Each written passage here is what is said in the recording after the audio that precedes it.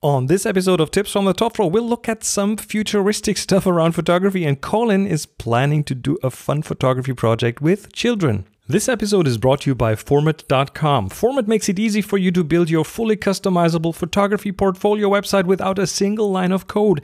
They focus on photographers like you. Simply sell your photography, send photos to your clients for proofing, and update your galleries straight from Lightroom. Go to format.com slash topfloor to start your free 30-day trial. That's format.com slash topfloor.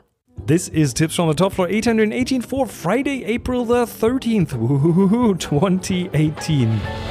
Tips from the top, from the top floor. Tips from the top, alright, from the top floor. Hey, hello and welcome. This is Chris Marquardt. You're listening to Tips from the Top Floor episode uh, 818 for uh, sometime in April. And I'm, yeah, you, you might be able to tell that I'm a bit of, a bit distracted today. And the reason is simple. I my head is spinning with a gazillion different things that I'm juggling uh, thing things. I see I can't even speak anymore with a different uh, let me try this sentence again with a gazillion different things that I'm trying to juggle at the same time. I'm proofreading the wide angle book, uh, the, the English translation of that.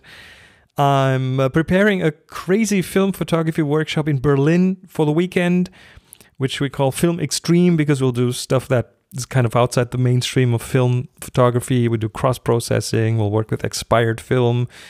Uh, we'll use red scale film, we'll have black and white development, push and pull, all the things that go outside the normal use of film, which I'm really looking forward. So the weekend will be uh, a bit crazy. Uh, and one more thing that uh, that I'm doing right now that is uh, making my head spin is I'm shooting some product shots for another book. So I got my plate pretty full, which is why I thought I would uh, use that opportunity to introduce you to this other little podcast that I do that is also about photography, but that is different from Tips from the Top Floor because I recorded with my co host Adrian and because we have a ton of fun trying to extrapolate and speculate what the what new developments might mean for the future of photography. And that is also the title of the show the future of photography. Now if you're already subscribed to that there might be a bit of duplication here but uh, you can skip forward about 30 minutes to get to the rest of this episode of tips on the top floor because i also answer another listener question here on the show which came in by colin.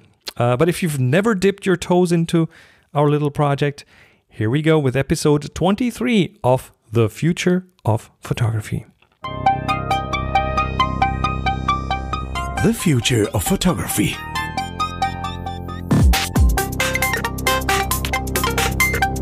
Hey, hello, and welcome. We're back with another episode.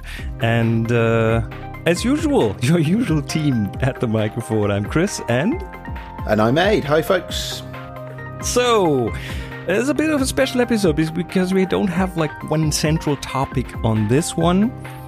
But uh, as we mentioned in the last episode, episode 22, it is a very fast moving field. Things happen left and right, and that generates a lot of follow up stuff that comes in that relates to stuff we did in older episodes. And I thought we'd make this a follow up episode and just look at some new developments. Maybe we should call it new developments actually in some some of the areas because yeah, it's moving. It's moving. It is moving. I, I, have to say, I'm a little bit nervous about this show because you know we we talk quite freely, um, and we talk. Uh, uh, and I've mentioned several times in the past. Actually, it's nice to be able to predict the future and not have to worry about whether you're right or not but we haven't had to actually address that yet because we're still quite a fresh show. so this this is you know, and, and you think when you make these predictions, you think, oh yeah, it'll be twelve months, it'll be two years, and by then everybody will have forgot that I I talked all that nonsense. well, I, I think to our credit, what I usually usual line is, uh, what does that mean for the future of photography? Is mostly speculation and not firm predictions. That's that's true. I'm, I'm and, trying and to stay away can, from that. Yes, and a lot of the time we do conclude that we don't know. yeah. But but uh, okay, so things happen, and uh, I'm going to refer back to a few of the older episodes. Let's uh, kick this off with Skydio R1, the drone that we talked about, the fully autonomous drone that we talked about in episode 19. That and, sounded uh, so impressive. Well, it is impressive, and that thing is really impressive. And what I linked to back then was a video from tested.com.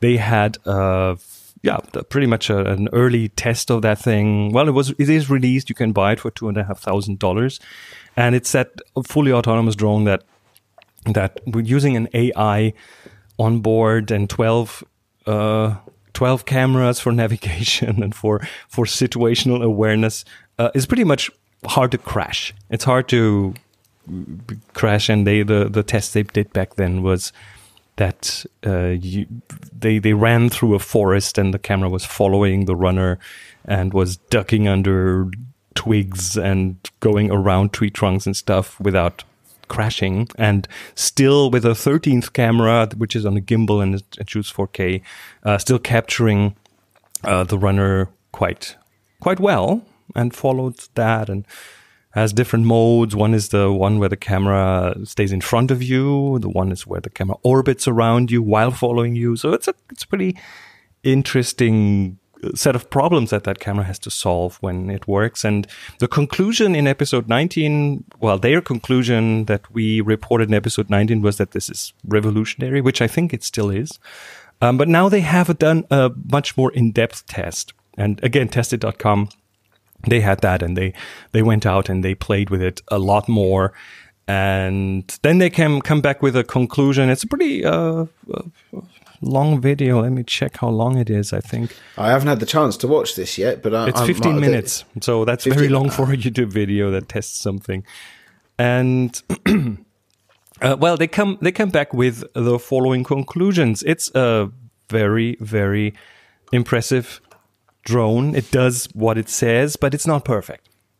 So there's still areas where the drone is um, yeah can be fooled pretty much, and uh, they have a few cases that they demonstrate where they were out somewhere in nature and uh, the, the camera was tracking one of the one of the two, and then the other one got in the path between the camera and the, the, the tracked person, and then the camera would latch on to another person, to that person now, and uh, then continue tracking that second person. Which Well, hey, that still sounds, you know, that still sounds very impressive. At least it didn't start tracking a tree and fly into a cliff or something. it didn't do that one one time it it it lost the it lost the person though and uh, latched onto another person pushing a, a baby stroller and then started following that in the in the other direction. Okay, so that so they had to get the little- phone out. yeah. they had to get the phone out start the app and tell the drone to come back. Um, so then it's, it's a really hard problem that this thing has to solve. It has to follow that one person and it, it i think the way it tracks the person i think what i remember is that it looks at the clothes mostly which is those if you have something bright on the top and something dark on the bottom it will kind of look at that pattern and try to find that pattern and it Right. might it, it's easy i mean you know uh you know that thing where you look at something and you see a face in it while there is no face Oh, so yes, I'm sure I follow at least one Twitter feed called Faces in Things. faces in things. Uh, the the technical term is pareidolia, and it's, why shouldn't a, an AI driven camera suffer from the same problem? Because it does that same thing. It does pattern recognition, and those patterns uh, it can can be fooled. So that that's the one thing they found. It can be fooled. Most of the time, it works well, but uh, you have to be kind of uh, you have to be um, ready to call it back using the app at least a few times. Um, the other thing they found is that yeah, the footage could be a bit more cinematic, you know, and that's I think one of the conclusions we had already that uh, with the priority of follow no with the first priority of not crashing and the second priority of following that person the third priority is make it smooth. So it's not it's not the top priority because if it was the camera would crash more. So making it smooth is only the third priority which makes perfect sense in the in the context of how it's being used. But it does also mean that uh, the footage is not as smooth as it should be sometimes I would imagine though you could make you could have some workarounds for that. I mean, if you were shooting in a relatively open space where there was less work for the uh, crash avoidance systems to do, uh, you know, I I, I think you, know, you could. Uh, Yeah, uh, that uh, that's that that sounds to me like genuine, but possibly slightly harsh criticism of a Oh, first of generation of a first generation product. This sounds really promising to me. Well, the other thing is, and you know this from shooting video, when you shoot video handheld with a camcorder, with a with a DSLR, with your with your phone, then you you will shoot video, and a lot of it is shaky, and a lot of it is kind of framing things and then you get bumped and then so uh, in the end when you edit you will only use those parts of the video that are smooth and that help you tell the story so you will throw away a lot of the footage especially at the edges of the footage at the beginning and the end of, uh, Oh, of yeah, your filming yeah. so uh, of course that footage from that drone is totally perfectly usable because you will as an editor, you will make edit decisions and throw away stuff that is too jerky, for example. Um, another thing they found is that, the, and they shot indoors at a at a basketball court, is that of course the camera is doing a lot of things. Uh, the, the drone is doing a lot of things. It's it's doing obstacle avoidance. It is doing tracking of someone, and uh, and then if a basketball comes flying towards it, it has a problem handling that one as well. So I'm sure it does. I think I think I'd have a problem handling a basketball Right. coming flying towards so me. so uh, of course it's it's kind of um, a fast flying object coming towards it. Uh, So I think they managed to kick it out of the sky a couple of times with a basketball, um, but that is kind of expected. That's a bit harsher as a test as well, because in a basketball team, everybody wears the same clothes. I think they they did a more of a street basketball kind of thing. Oh, okay. Everyone was wearing street clothes, and uh, yeah. But a- again, of course, this will be more relevant if we look into a potential future where everyone is flying these drones uh, all the time. So the drones will have to be aware of the other drones in the sky, and not crash into those. Anyway, but I think that's a future. I'm not sure I want that kind of a future. No, no, no. We've talked about that before. It sounds it sounds pretty nasty, doesn't it? So let's hope they invent something else that stops that from needing to be happening. Right, But so- so, I'm really keen. So so if I have to say the uh, the the price is a bit of a barrier to entry for me. Oh, of but, course. uh, um, the I'm not sure I could justify spending that much money on a drone. I don't have a drone at the moment, and especially not a first generation product. But I can see why it would be very very interesting to people. So uh, I wish them luck with that. Definitely. Yeah. And again, this is the first product out of a possibly a series of products that are only going to improve in You, some you'd, you'd hope so, but uh, but I guess our next update um, is, is an example of where that didn't go quite according to plan. Well, okay, so going back to episode 15, next topic, uh, episode 15 of the future of photography, light field photography, where we talked about uh, Lytro, the company that kind of began making this mainstream or get this into into consumers' hands. And uh, then, end of March, 21st of March, I think the news came out that, uh, or the rumor came out that Google might be buying Lytro. So that uh, has somewhat materialized. Actually, actually, it another news that preceded that was, um, and that was on March 14th, is that Google had done experiments with light fields. So Google I AR and that, yeah. VR. What they did is they put a camera array. Just just imagine a row of GoPros next to each other. And then um, imagine that th- those being on top of each other, forming like a column of GoPros.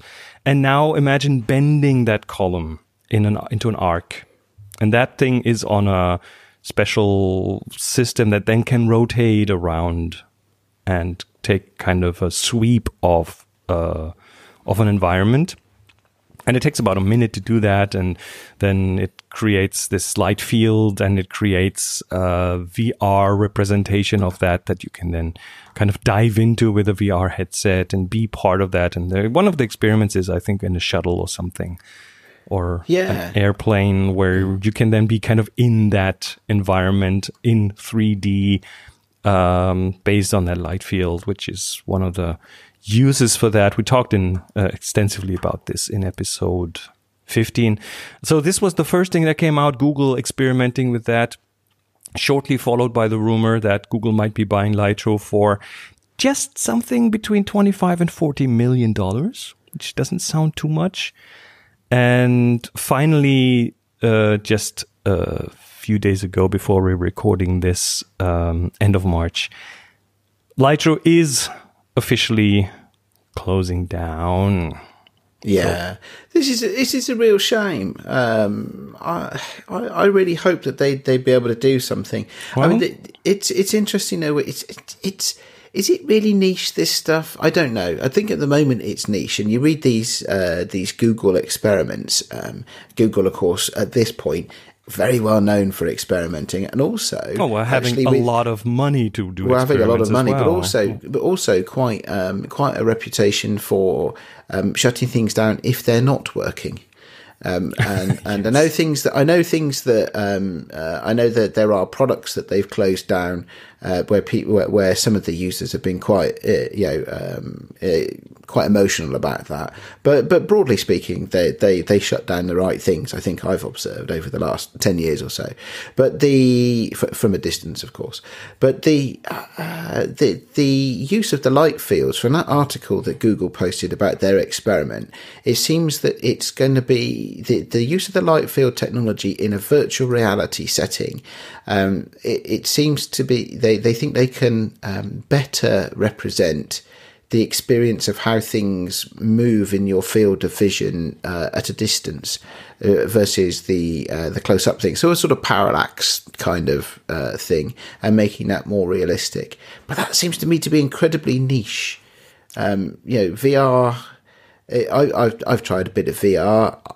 I, I could take it or leave it, to be honest. and I think that's what a lot of people have experienced with VR to date. Um, uh, and so I, I'd be interested. I hope they take this forward, and I hope it's good. And I, it's a shame Lytro didn't succeed. I thought when they released the uh, uh, the Illum p- product. Um, that that might be them getting towards mainstream availability of of high quality products, but sadly, it was never picked up by the market. Well, for for whichever reasons, we have, I think, uh, talked about this in our previous episode. But um, the, the the interestingly enough, that we have no no real official confirmation yet if really if Google bought them. They've just shuttered. It's a very um, uh, it's a rumor, and I think it's it's quite substantiated. But um, the way it looks as well, the, the, the, some some some companies reported, like Verge, for example, reported that a large fraction of Lytro's employees will be joining Google. So I think it's pretty clear. It sounds a bit like an acqui-hire, you know, where they uh, acquire new talent for their own Yeah. purposes. Uh, also, some of the Lytro assets will be uh, become part of Google, as in patents and things. So uh, it, it could be, it could well be that Lytro is, is completely shutting down its own products and uh, technology, and people will become part of Google. I think we'll find out. Um, the, Petapixel writes, "What Lytro's demise means for the future of consumer light field cameras remains to be seen." Okay, so In the They- short term, though, it's probably fair to say there'll be fewer consumer grade light field cameras. Well, uh, went completely industrial anyway a while ago without uh, we're completely leaving the consumer market. So let's find let's let's let's wait. Well, let's wait this out. Um, okay, next topic, episode eleven. Remember our unsupervised image-to-image translation networks episode? That was the one where some researchers did uh, well came up with algorithms where they could take photos from like a summer setting and turn them into winter photos. Uh, Yes, by- I do. And that, and and they were even starting to do it with video as well, weren't they? and uh, they did video as well, but it had it had artifacts and things. Uh, along those lines comes uh, fast photo style, which is a new AI algorithm that is now has been released or published or whatever by Nvidia. These are the guys who used to be mainly graphics cards, but now have a lot of AI processing going on on their GPUs. and they and uh, they were behind the technology we talked about in that earlier show as well, weren't they? Right, and they are also behind, like um, I think Nvidia is also inside Teslas to help with the uh, with the autopilot AI and things like that. So um, Nvidia and the University of California Merced have uh, come up with a seemingly new algorithm uh, where they do something similar. They call this fast photo style, which is uh, transferring one photo's style to another. So they have some examples there where you have like a I don't know, a, a building on a on a, a black and white photo of an old building and a color photo of new buildings, and then they make this old building photo look like it was a new photo in the same style of the other photo, or t- turning day into night photos, or turning uh, summer photos into winter photos. So they're doing something similar there, but they claim it's a new algorithm. It's faster. They uh, claim it is um, split splitting up the task into separate steps. They have a styli- stylization step where the style of a reference photo will be transferred to the content photo, and then there's a smoothing step that helps make things photorealistic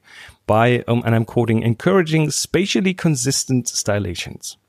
Uh, st- sounds lovely. stylizations. Stylizations. That sounds lovely, but I have no idea what it means. But I'm sure Not a really. lot of. Look at the look at the website. There's also a paper um, that you can read, like a scientific paper with a lots of formulas in it.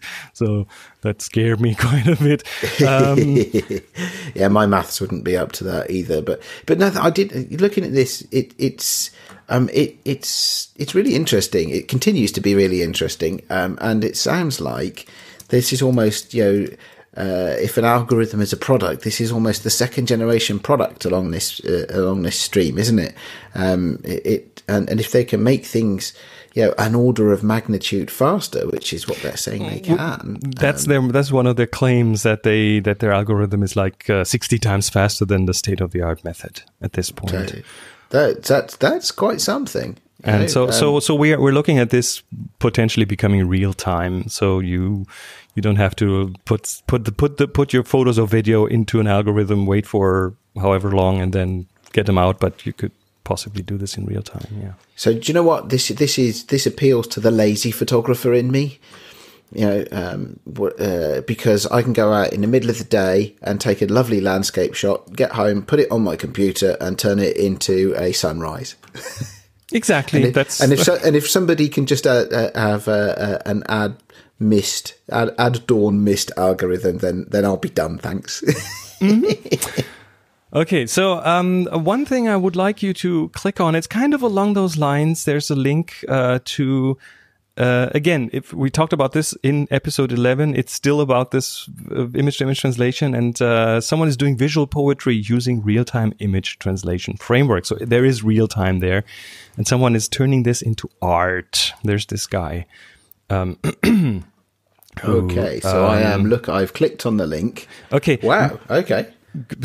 just start that first video on that web page and you will you will see what what he's doing just watch it uh, turn down the sound and just watch the watch the pictures so you have a before and after picture and um, what what that guy does is he uses a one of these image translation networks that he trained on something. So in that case, he trained one on a video of the sea. So you have the sky, you have the sea in the, in the AI network, and then he uses some other video where he uses some cloth that he moves on a table, and the translation makes this into a rough sea and a sky above it. Wow, it does. yeah. So he's he's making this into art, and if you forward a bit in the network, he has like a, a I don't know a, a charger of like a like a phone charger, the black phone charger that he puts on top of that cloth, and then that turns into a rock in the in the remaining in, into the resulting image. Or he trained a network on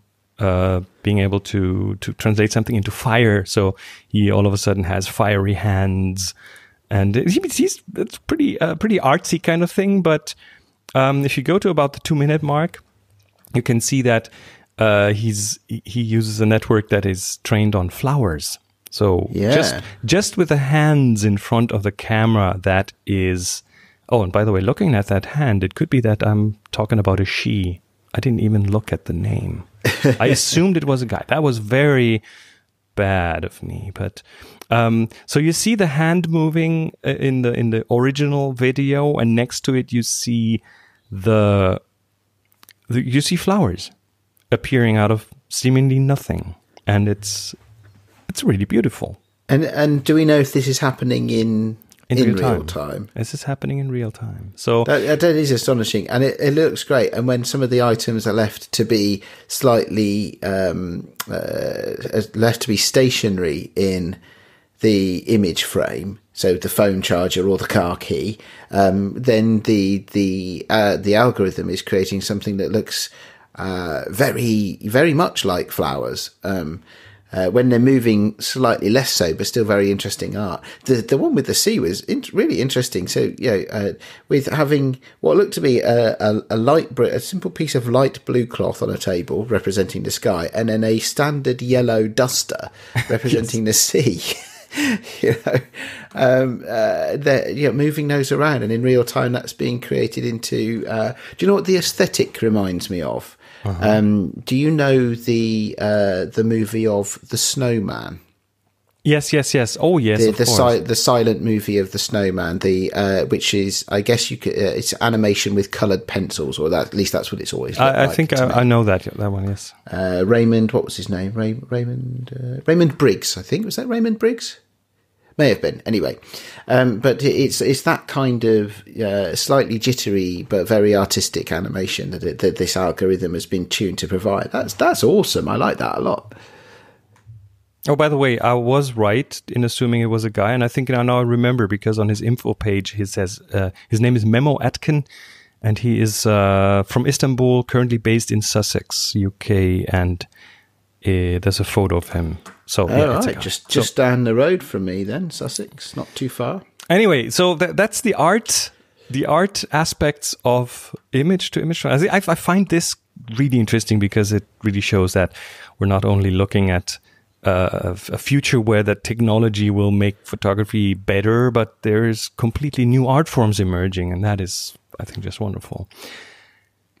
One more thing.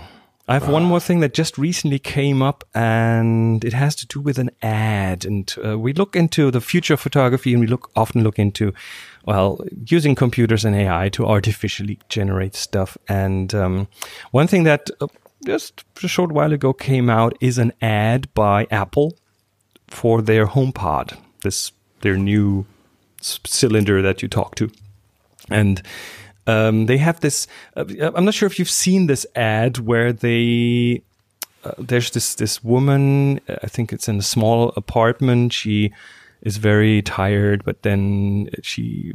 She, she, lies down on her sofa and then starts to dream and all of a sudden the apartment changes and you can see like uh, she, she and she's a dancer. So she now has the music playing from the home pod and she starts to dance and she starts to push walls to the side and the whole apartment stretches out. So you see um, it looks very digital, you know. It, it looks very CGI. She, she's pushing the wall, and all of a sudden there's a corridor, and the lights are stretched out. And if you if you go to the link that I pasted there, you can see this in the bottom frame pretty much. Uh, it's it's like like it looks like digital artifacts, and it's very very. Uh, I, I think it's a cool video. It's a beautiful kind of thing, and she makes this apartment into like a stage, and then in the end she falls back down on her sofa and she's back to her small apartment but she made this the music and so it's a it's a very uh, kind of touching story um, and the video i looked at that i watched that for the first time and was really kind of wow that's a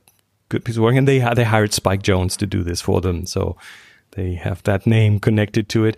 And uh, what just recently emerged is a behind the scenes video where you can see how they did all this. And interestingly enough is that almost everything in the video is practical effects. So they built an apartment on a stage that has hydraulics and mechanics behind it and people pushing levers and pulling levers to stretch things out, to move things, to make this. So this is entire almost the entire thing apart from a few areas is not CGI it's real practical effects. And I think a lot of that is still being done practically because it has a different feeling to it, it has a different aesthetic to it.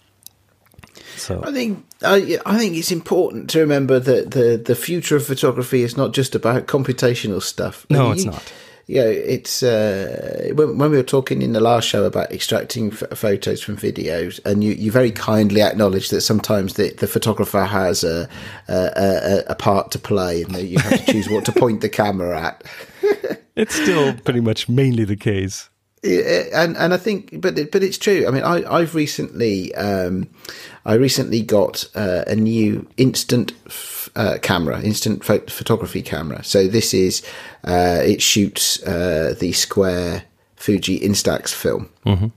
Um, it's actually a lomography camera, so it's it's not the the uh, part digital, part analog one that Fuji make. It's actually a purely analog camera. So you put your pack of film in the back of it, and you shoot instant photography. So it's Um, all analog.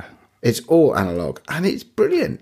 and and I you know and uh, there there definitely the there definitely is uh, a progress that's being made in in analog photography. You know, we've seen the the relaunch of some films recently. Last year, lots and lots of new films were were, were released. Uh, uh, but we're seeing new cameras coming through as well, um, and you know, not obviously at the rate of digital stuff, and, and not at the rate of computational stuff with the iteration speeds of you know mobile phones and stuff like that. But it's still there, and it's quite heartening to see that people are still actually building things in the real world and and uh, and using those to make their their effects rather than just uh, using CGI. So yeah, it's good. I like that. So Very the future, indeed. the future of photography is analog. People remember that. the future of the photography is whatever anybody wants it to be. This is the thing. So you you and I both sit in this position where we have we have this show. You you you have others, and we both also do analog photography shows.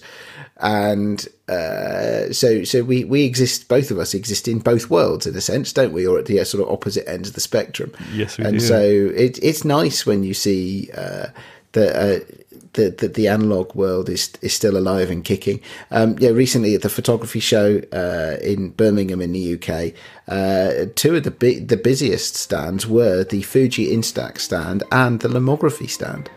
Yeah, there's huge communities building up around those, and, and every year they they're bigger and they have more stuff. So uh, yeah, it's it, it's good. The so I think fu- we can we can conclude that technology is not everything. No, no, there's still some place for creativity. Uh, st- and for there's still a place yeah. in the creativity chain for humans. So- All right.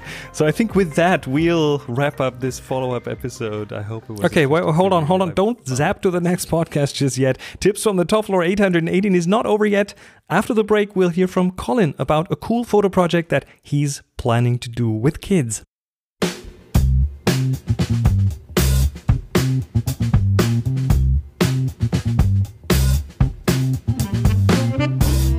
Let me take a minute to talk about a new sponsor, Format.com. Format makes it easy to build your own professional portfolio website without a single line of code. Now, I know you're wondering how is Format different from the other guys? Well, it's simple. They focus on you, on visual artists, on designers, illustrators, and of course, on photographers. It's essential these days to present your portfolio online and in style, and Format makes that easy and beautiful. Their themes look fantastic. I especially love their aura theme. It's just so clear and stylish, and it presents your photography in a really clean and pleasing way. And if you're planning to sell your photography, you can set up an online store in Format within minutes. They won't even charge a commission on store sales. Don't take my word for it, give Format a try for free. Each plan includes your free personal domain. Um, what I really like, you can update your online portfolio directly from Lightroom. No more exporting your photos and then trying to find them on your hard drive and then uploading them through a clunky website. No more of that. Just imagine how much time you could save by doing all that straight from Lightroom. They even feature built in security protect your photos with passwords and custom watermarks. And all that is just scratching the surface. There's more, including a client proofing workflow to allow you to get sign off on your photos by your clients, a built in blogging platform, and their iPhone app to manage your galleries. And if you have questions, they located their 24 7 support around the world so you can always get one of their experts to help you. Now, here's a special deal for you. You can try out Format for free for 30 days without a credit card. All you'll have to do is go to format.com slash topfloor to find out more. That's format.com slash topfloor, format.com slash topfloor. This episode is also brought to you by WeTransfer. And I'm not just saying that, I actually use their service regularly to share big files around the world for free. They're all about making the creative process easier for everyone. There's no sign in, no offer codes, no password to forget. Just upload, send, and get back to making what you make. 40 million people use WeTransfer to send and receive files every month, and since day one, they've devoted 30% of their ad space to showcasing creative people from around the world, from musicians to illustrators to photographers to podcasters like me. So, in that spirit, I'm skipping the rest of this 60 second ad and get right back into the podcast. Hello, Chris. My name's Colin. I'm a photographer from Scotland. I've been asked to teach uh, 6, 11, and 12 year olds a little about photography. I thought I'd start with some analogue work. I'm going to start with uh, photo paper with things on top of it and sunlight exposure, but was thinking about getting them to build their own pinhole camera. I was looking to find out if you could recommend any online resource with designs for simple pinhole cameras that I could get them to build themselves. Anyway, thank you very much and keep up the good work with the podcast. Oh, wonderful, Colin. I love this. Making pinhole cameras with kids i- is just an awesome, amazing thing. I remember the sense of wonder and and excitement that that that instilled into me back when I was younger.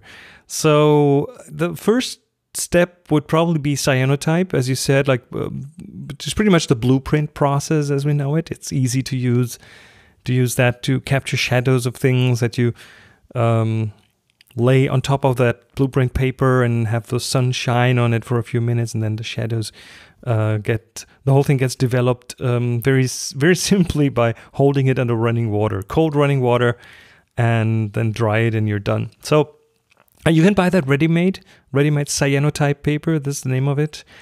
Um, it comes in black bags, and you can just use it straight from the bag, or you get the chemicals, which is two two liquids that you have to mix and then in a, in a not so bright environment paint on paper with a brush, and you can have the kids make their own cyanotype paper this way, and uh, you can even make cyanotype out of almost anything like t-shirts, for example. So that would be a cool thing for the kids to take home.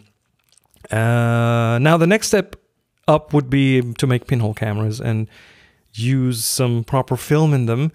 Now, I, if it was me, I would probably use a large format sheet film and develop it myself and build a box and stuff. But I was thinking how to make this as convenient as possible for you, so the kids could do it, uh, could do it easily and uh, would be a bit more budget friendly, and uh, especially when you have a lot, lots of kids in the class. Uh, and I remembered the project where, where years ago I built a Matchbox pinhole camera. Now, here's a quick rundown of what you need to do this. Uh, first of all, you'll need an empty matchbox, a pair of scissors, a piece of aluminum foil, aluminium foil, we're in Europe here, a needle, a couple of rolls of cheap color negative film, and black duct tape that doesn't let any light through. That's pretty much all you need. And what you'll do is you take the drawer out of the matchbox, you cut a hole in it, a rectangular hole, and put that back inside the matchbox, and you slip the beginning of the film uh, from that roll between the matchbox and the drawer. So it's a little film stage, and then on the opposite side of the drawer, uh, on the in the outside box, you cut a hole and you cover that with aluminum, alu- aluminium, aluminium, aluminium, with aluminium foil that that you poked a tiny pinhole into with a pin, and and what. Uh, and, and and then then you want an empty film canister on the receiving end of the spool, um, kind of to spool the film into, and then you cover everything up with the black tape to make sure your film can only get light through that pinhole. And then you can even like you can craft a little manual shutter mechanism with some sliding cardboard in front of the pinhole. With the long, we were talking longer exposure times. So we're talking one, two, five, ten seconds. So um, that's an easy thing with a piece of sliding paper. And there is actually a website that describes that in more detail, and that's matchboxpinhole.com. Who would have thought? And it's, it's it, for me personally, that's like a two hours on a Sunday afternoon project. Um, so you could do this with the kids uh, easily in a day and take the photos. Now, the, the reason why this is so amazing is because it has so many advantages to uh, to itself. The first of all, the ingredients will be easy to find. You won't really have to go hunting or go going to obscure websites to buy stuff. Matchboxes are easy to come by. Uh, the film is still easy to get. Um, then color negative film is incredibly forgiving when it comes to exposure, and as the exposure times are going to be anywhere between like one and ten seconds, depending on the light conditions. That should make it so easy for the kids to handle. They can even learn how to estimate time in their minds. So, uh, yeah, and and then many drugstores will still allow you to drop off color negative film for development. And if you're lucky, if you live in a bigger city, you might even find a one-hour lab around the corner, and they can develop and print those pictures for you right there. So, I think making a pinhole camera is probably one of the most rewarding projects you can do with kids because I mean depending on the age of the kids you could even like if they're too young you could prepare a few things like cutting the holes into the matchbox drawers or make the pinholes. You can you can do this with kids at many different ages. And one thing's for sure this will leave a lasting impression on all of them because uh, they will get to keep their own photos as prints and that is worth a lot. A print in your hand is magic